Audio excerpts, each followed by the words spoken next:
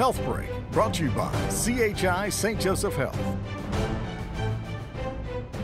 Cervical dystonia is a condition that causes a person's neck muscles to contract involuntarily.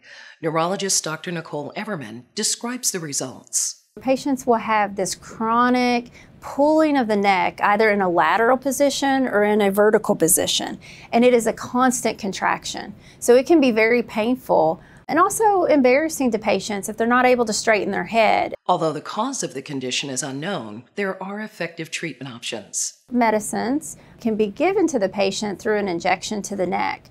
These injections only have to occur every 12 weeks and are very well tolerated. They can fully treat the condition in some cases where patients have a neutral spine and no longer have that long term pulling sensation to the neck. For more information, go to chistjosephhealth.org. I'm Adrienne Flores.